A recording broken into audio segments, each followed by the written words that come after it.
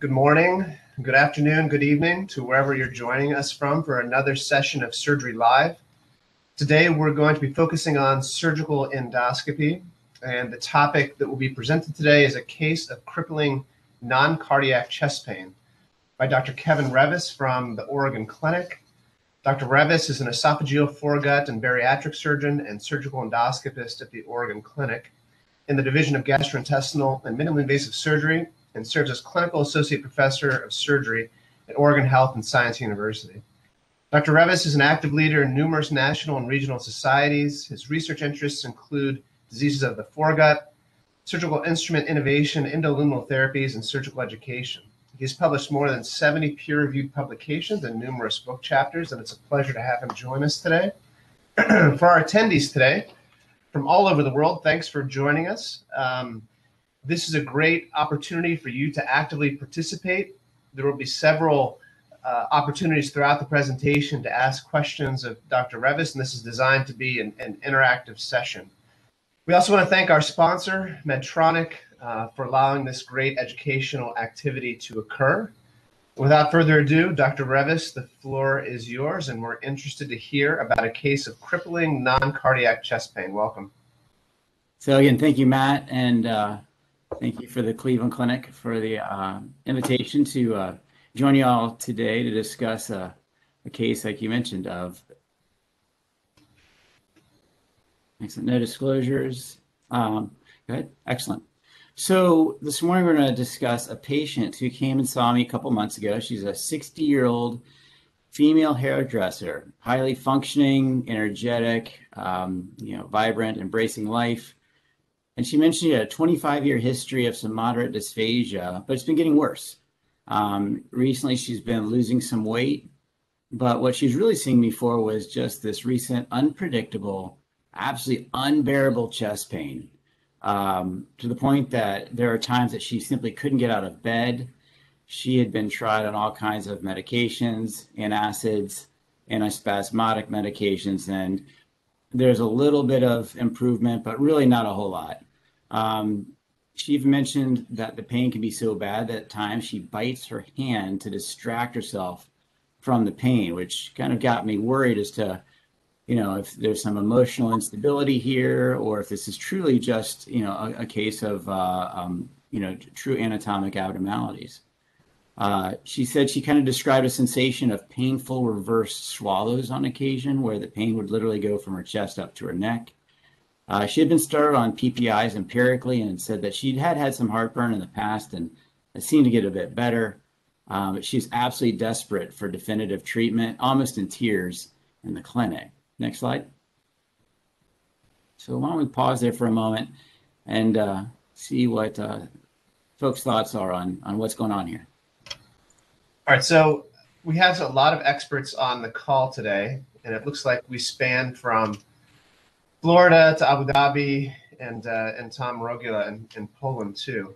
Um, but I'm gonna I'm gonna post this initial query to one of our more junior partners and, and, and drag the experts in later. So Mohammed Abdullah from uh, Cleveland Clinic Abu Dhabi. What do you think of uh, this case presentation so far? Hi, good morning, doctor. Uh, good morning, Dr. Fs. I think it's maybe an esophageal source of pain. Uh, she's a young lady, uh, like and having an esophageal dysmotility disorder, like nutcracker syndrome, uh, syndromes that may aggravate the pain that's coming as non-typical chest pain. All right, how about Carlos Abril from uh, Cleveland Clinic Abu Dhabi? I see the palm trees swaying in the background. As a, as a more senior member of the faculty, what are your thoughts on this patient? Um, my first, uh, it's a, the, the, the beginning of the case, but uh, I'm, I'm surprised the patient never ended up in the emergency department with a heart heart disease with a coronariography or something like that, which I think is one of the first um, steps that we we take anytime we have a patient with this kind of of pain. Okay, I think those are reasonable comments to get us started. Kevin, how about back to you? Why don't you tell us what uh, what your next steps were? So um, yeah, she had. Um, I, I, like the fact that a 60 year old is considered young. That's that's that's good to hear. Um, also, uh, she had she'd been evaluated. Uh, her coronaries were were clear, so it was it was, it was pretty high level of confidence. This is non-coronary in terms of the source. So, assuming that this was um, now you know through exclusion a GI source or potentially a GI source, we go through our typical workup for esophageal uh, disorders with endoscopy and esophagram, pH and motility uh, testing um, as uh, shown on these slides here. These are all normal images of those type of things. So, so on endoscopy on the left, you can see a normal endoscopy with a regular squamocolumnar junction, a Hill grade one valve, and there's no hernia, as opposed to a representative image on the right side of a patient, um, uh, ours, for example, with a four centimeter hiatal hernia, but it's noted that our esophagus was quite snug just above the squamocolumnar junction. An Esophagram on the left, you can see normal, smooth contour with an open gastroesophageal junction down where you can see that large gastric bubble um, on the, uh, the right side of that left-sided image. And again, no hernia.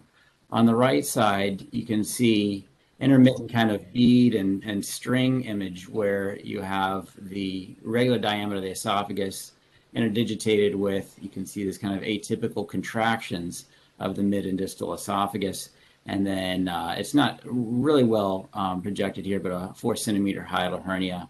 And again, those contractions are disorganized and, and quite um, um, exaggerated. So pH testing um, is an example of a, of a, normal one. And her pH testing was actually normal with a DeMeester score of 2.6, uh, uh, normal score being less than 14.7.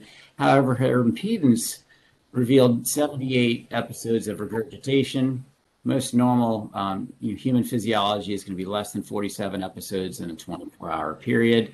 So we're starting to wonder if this is a, situation of stasis or, as she essentially described, kind of reverse swallows where the impedance catheter is being triggered by multiple events of non acid regurgitation as well as some potential acid regurgitation as well. What's interesting is that on 19, we'll call them events, where she felt she had substantial regurgitation with heartburn, you know, she correlated 63% of the time. We consider anything more than 50% correlation to be a, a positive correlation. So, uh, although she doesn't appear to have um, pathologic acid regurgitation, clearly there's a lot of esophageal dysmotility going on here that um, you know could, potentially be uh, the etiology for her symptoms.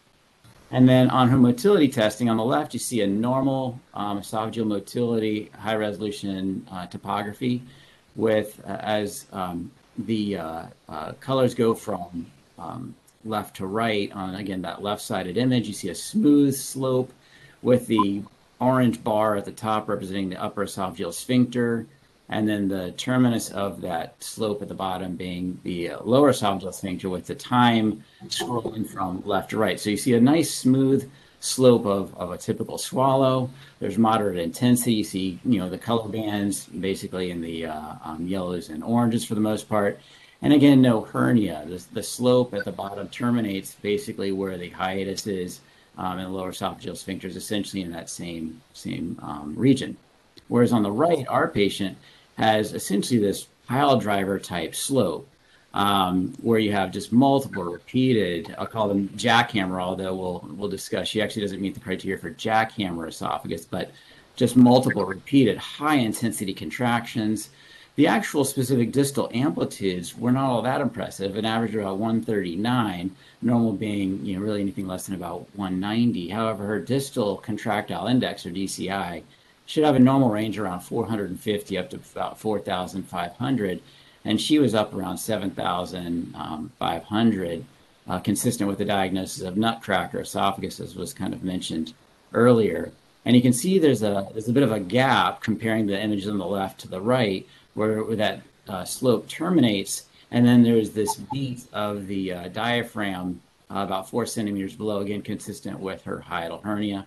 You also notice that this um, swallow is not only uh, high intensity in terms of the contraction. And again, these repeated pile driver type contractions, but it's also quite prolonged. It, it, goes out over, you know, well greater than six seconds in terms of its duration. So, um, again, just, uh, you know, adding to the evidence that um, this lady clearly has a, a, a, pretty substantial motility, hyper, hypertensive motility disorder. and as well as a hiatal hernia. So we're going to have two things to contend with in her circumstance. So why don't we pause there again and chat about the, the workup so far and uh, and next steps. I see that uh, Dr. Rosenthal from Florida is on the call. Is an experienced uh, esophageal and gastric surgeon. I wonder what your thoughts are, Raul. Hey, good morning, Matt. Good morning. I'm sorry I'm driving if you have some background noise. Uh, Is it so safe to talk? I don't want to get you in an accident, Raul. Oh, no, it's okay. It's a Tesla. It's driving alone. uh, I'm happy to see Kevin back. I haven't seen him for ages, and obviously to welcome you back to the USA. Thanks, Raul. Well, I mean, obviously, this is a common scenario of a patient coming to the ER thinking of having a heart attack, end up having an esophageal disorder. So I think this is something uh, pretty pretty common to us who are doing a lot of esophageal surgery, and uh, not surprised. I think Kevin has so far done a phenomenal description, uh, thorough workup. The big question is going to come next? How much more are we going to study this patient? Uh, and what the treatment modalities, you know, between observation, medication, or, or surgery? Uh, and then obviously we're going to get into the POEM or extended Heller's long myotomy for the jackhammer esophagus. Um, I, I signed in a little bit late. I don't know if the patient had an EGD already done, which I assume he did. Uh, so with a manometry, uh, with the EGD and a pH, uh, some surgeons might choose to get a, a, a swallow, you know, to get a little bit more of a graphic picture of the motility. Since we surgeons don't always know how to read those colors in the manometries, uh, so we'd like to see a shadow moving or not moving, see if the esophagus is dilated or not, see if there is a hiatal hernia or not. Uh, and then I think the next big question is going to be when and what to do in the OR. Okay, I, I, I think that sets the stage for uh, maybe Kevin's decision making. Yeah. Maybe Kevin, you can walk through the spectrum of options, and then maybe we'll pull our other experts on the call. I think. Thanks, Raul. Those are obviously timely and insightful comments. We appreciate that. So maybe we'll lay out some of the options, and then maybe we'll go around and figure out who would do what. Sounds great. So, surgical options. We got two to consider here, as Raul pointed out. Um, and it's always great to, to see you, Raul, or hear you, Raul. Thanks for joining. Um, we've got two issues to deal with. So, it's, it's not that this is an exotic circumstance, but it's kind of a combination of two relatively common problems in foregut surgery. We have a hypertensive motility disorder, our options really are to continue to struggle with medical management, endoscopic management. And again, she came in tears to, you know, desperate for definitive management because she's been through the ringer already with our with our gastroenterology colleagues. So that motility test revealed that it's not a limited issue to the lower esophageal sphincter. We've got a problem of at least, you know, half to two thirds of the esophageal musculature. So, just uh, addressing this from the lower esophageal sphincter perspective is probably not going to resolve her symptoms.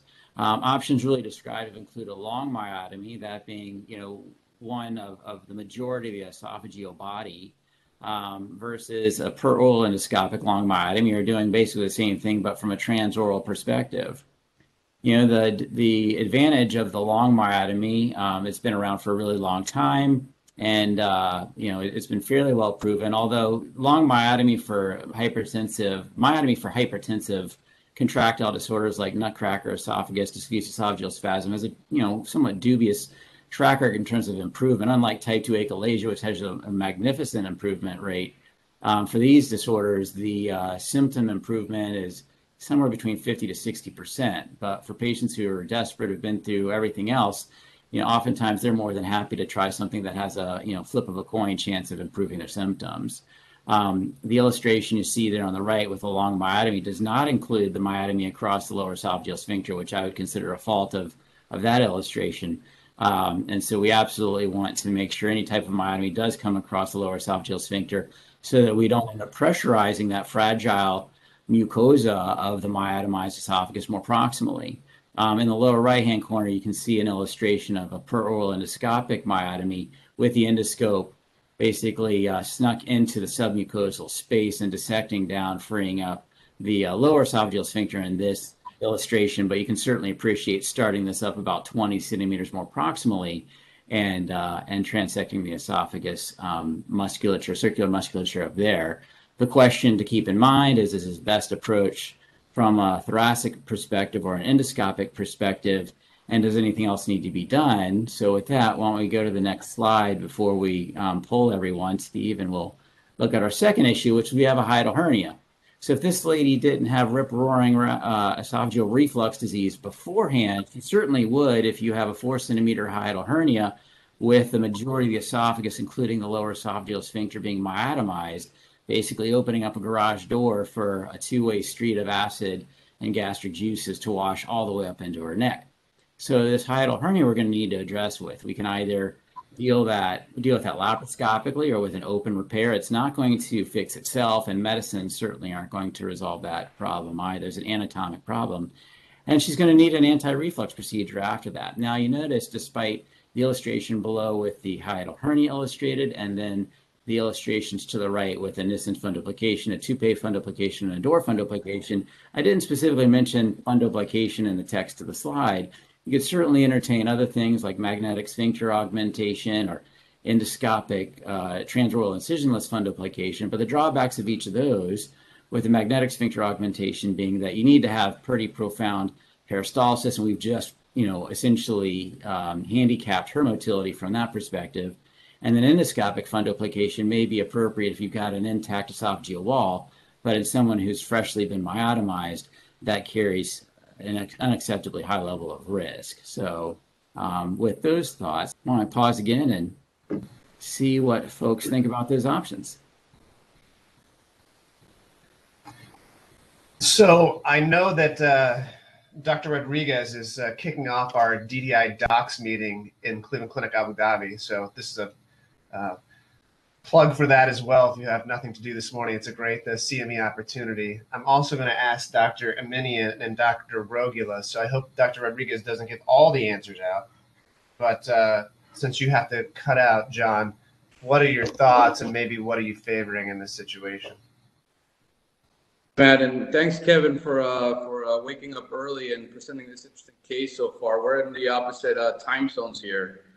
Um, so first of all, I think I want to back up a little bit and give you and your team, Kevin, kudos for working this patient up appropriately because most of the time, when you look at you know these cases being worked up across the country, they probably would have not gotten an impedance study to begin with, and if they would have just gotten a, a standard pH study with a wireless motility capsule, her regurgitation episodes would have probably been totally missed.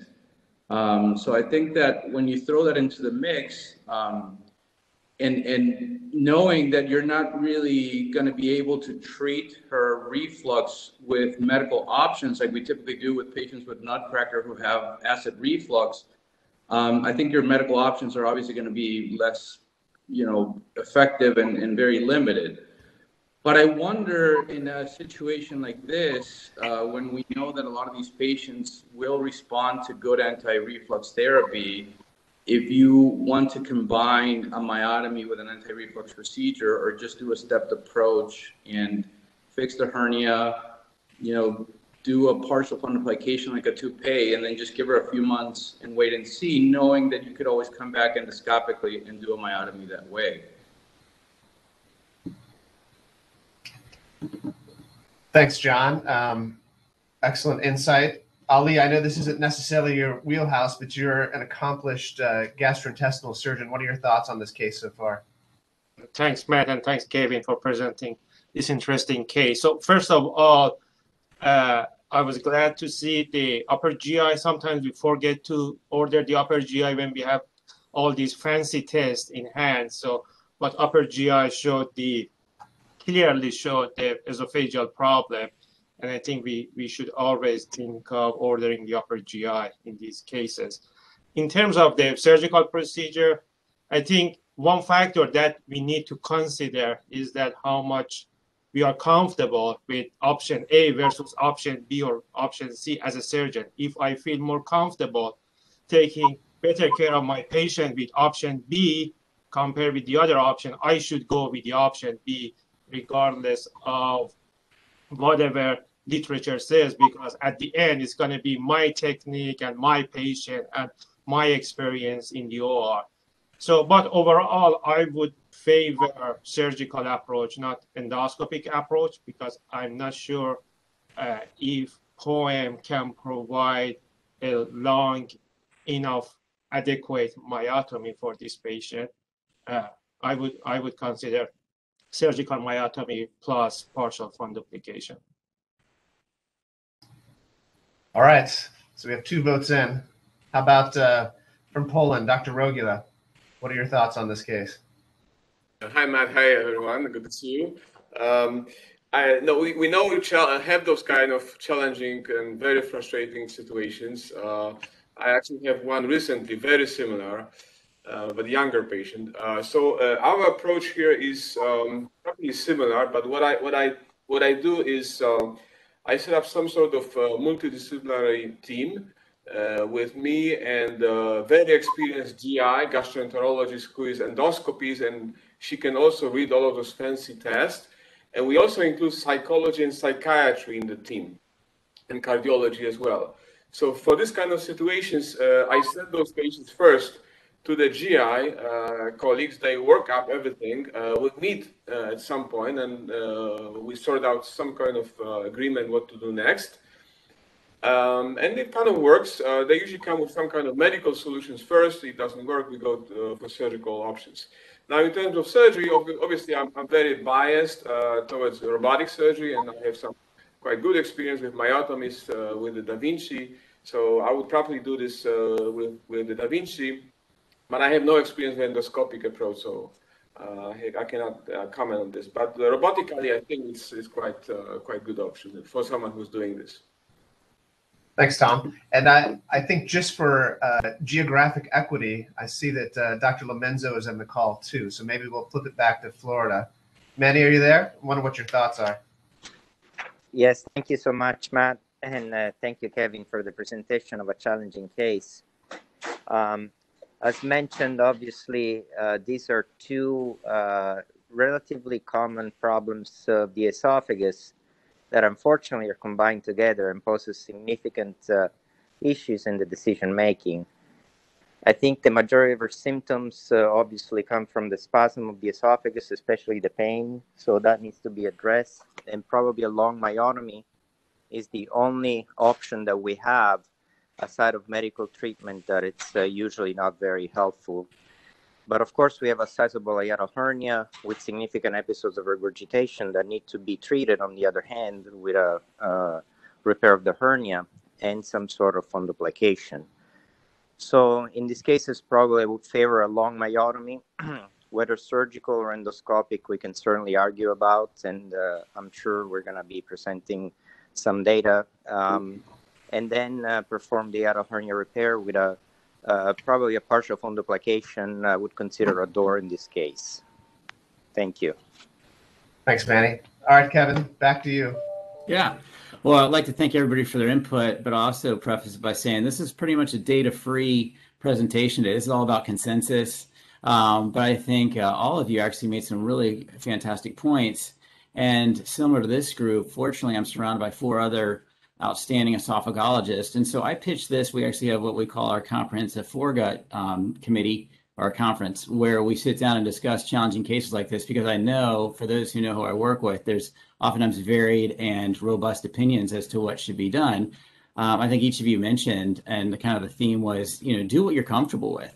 Um, you know, the theme was basically, you know, myotomy, hernia repair, fundoplication in some order, using some approach, but the principles across the border, you know, get the job done using what technique you're most comfortable with. Um, you know, in, in, my opinion, and you can go to bring up the, uh, the next slide there, Steve, while we're chatting. Um, you know, being a uh, an esophagologist and a, and a, surgical endoscopist, endoscopic approach is something that I'm most comfortable with. Um, an open thoracotomy um, is going to carry obviously some morbidity with that incision uh, through the chest, and uh, thoracoscopic and robotic surgery is something that I'm I'm less familiar with. However, in this case, a long endoscopic myotomy I knew would, would work well from that perspective. you know, to John's point about, um, you know, treat the uh, potential reflux issue and the hernia issue, um, I think uh, what was mentioned finally there about her her chest pain was what kind of drove me as well. And I think the comment about the psychiatry or psychology issue is also quite relevant because I can tell you when she first came into the office and I knew that she had likely nutcracker, but then she was essentially crying in the clinic and then mentioning biting her hand for distraction of symptoms, knowing many patients with distal contractile indices like this don't have this kind of chest pain. You almost start to wonder, is there something more going on in this story that may need to be addressed from a behavioral perspective or emotional perspective or whatnot? Most folks don't um, demonstrate that type of kind of uh, extremist um, emotional um, concern.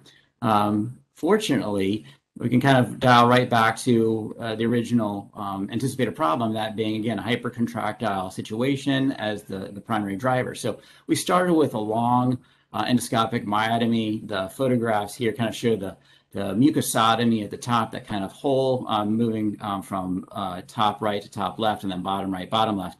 Um, the next image to the right is simply in the areolar submucosal space. We're using the, the Hybrid knife, freeing up the areolar space. The circular fibers of the esophageal wall are to the right. The mucosa is uh, off to the left out of view, which is just the way I like to keep it. Uh, and then the bottom left, you can see we're starting to basically cut through the cir thick circular fibers. And there's actually a little bit of, uh, I think probably got through the longitudinal fibers with some mediastinal adipose tissue there as well, which is really no issue. Uh, obviously, a long myotomy done transthoracically, you'd be going through adipose tissue as well. And then the final image, bottom right, is of the endoscopic view at the end with the laparoscope on the outside glowing through that myotomized esophageal um, uh, wall with the uh, with the mucosa intact, but the musculature um, uh, dissected free. And then to address the hernia, and you can see on that left-sided photograph that sinkhole of a of a hernia. It's not huge, but it's certainly enough that it would exacerbate any type of regurgitation um, post-operatively. We repaired that laparoscopically, uh, and you can see the the right, the um, esophagus uh, having been immobilized, and there's plenty of intra-abdominal esophageal length. For the keen observer who says, "Wow, that is really one fat esophagus," Remember, we just myotomized her endoscopically, so there's a lot of CO2 in there and a whole bunch of uh, saline lifting solution in there. So it's an edematous esophagus, which makes it a challenge to close the hiatus and then do the fundoplication because you realize it's ca- probably going to be half its caliber in a couple of hours as that uh, third space fluid goes away and the CO2 dissipates as well. So we close that hiatus, and then you see a Toupet fundoplication, which is simply my choice uh, fundoplication. Someone who's had a myotomized esophagus now, um, you know, uh, um, uh, debilitated in terms of its motility proximally. I don't want to do a complete fundoplication.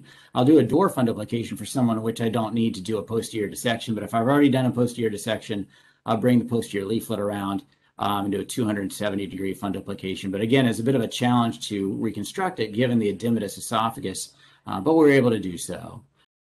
So, um, and as a result, this is her post-operative upper GI. You no longer have that bead and string appearance on her upper GI. There's a smooth taper as the contrast goes through the fundoplication. She mentioned that uh, the result uh, was a greatly reduced sense of spasms. Her heartburn was eliminated, um, combination of probably functional heartburn as well. She has an intact anti-reflux mechanism in place now. She mentioned about a month later that she does have some frequent belching, which you know what, I think we can accept that.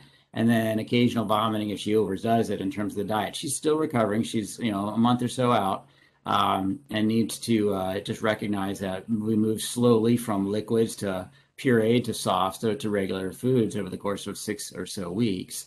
Um, and then our follow up is going to be an endoscopy at three months, which is still pending to assess. She's off PPIs currently, but those nerves are probably shot. I want to see if she's developing esophagitis off meds um, with a partial fundoplication and a myotomized esophagus.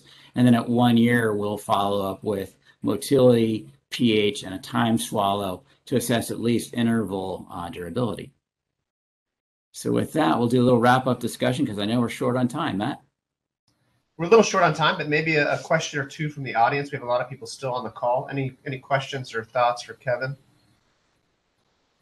Uh, Raul here, if I may make a couple of comments. Um, I think that Kevin mentioned something important. This is a data-free presentation. I don't think there is any data evidence that supports doing something right or wrong here.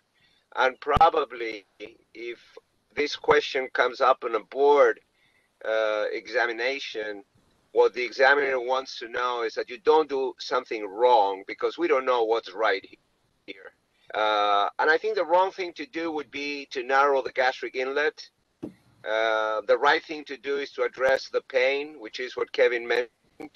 I think a staged approach in surgery is always welcome. And we don't know here really if she needs a partial, a full wrap, an anterior, posterior. Uh, it's good to start endoscopically if uh, the surgeon in charge feels comfortable with a with a POEM, and probably it, it's the best approach because you can come all the way from proximal, which laparoscopically might be more challenging. Um, close that hiatus posteriorly nicely. I would not use mesh. I would use a partial wrap and see how she does. If the pain goes away and there is reflux, PPI. If the pain, if the reflux doesn't go away, then the surgeon might consider rewrapping it. But uh, yeah, excellent approach, difficult case, and uh, thank you for for presenting it. Thanks, Raul. Those are great comments, and I think uh, Ali posted a question similar to uh, something you just addressed, but I'll, I'll, bring it out. Would it be possible to do a long and adequate myotomy through a transhiatal approach instead of transthoracic? Kevin, you want to comment on that? Raul just made mentioned that a bit, but do you want to um, give a more formal answer to that? Yeah. Um, so the the short answer is, in in my hands, no. Um, based on the manometry findings, um, you know, we realized that you know even with a hiatal hernia, we're probably able to access the distal five, six, seven centimeters of the esophagus fairly well. But beyond that, um, the visualization, um, even with the robot, is going to be somewhat challenging. And our motility, realized this disease process extended well up into her into her thoracic esophagus, probably a good 10 or 15 centimeters. And that's just going to be out of the range of what we typically can get to from a transhiatal approach. Um, you know, in patients, unfortunately, with type 3 achalasia who have been denied uh, endoscopic myotomy based on insurance, where I've been essentially by hand forced to do a laparoscopic um, myotomy. Um, it's been pretty helpful, even if the proximal musculature is still intact. But those patients weren't presenting with chest pain.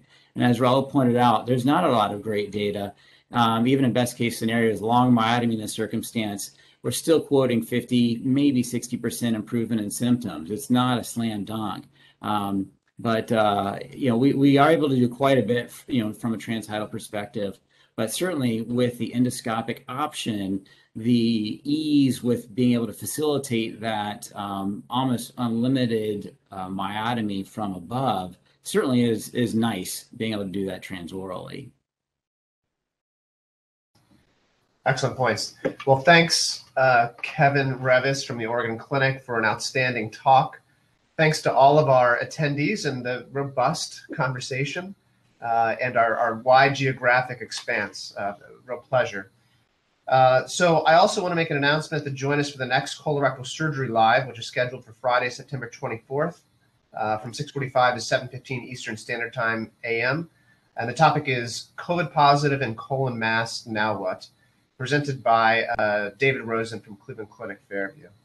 And a monthly reminder that Surgery Live meets every Friday, with the exception of the first Friday of the month. Our specialties currently include bariatrics, breast, colorectal, surgical endoscopy, foregut, hernia, HPB, pediatrics, plastics, and trauma. And I also want to thank our sponsor, Medtronic, for the opportunity to present this educational program to you. Thanks all. Be well and hope to see you soon. Bye bye.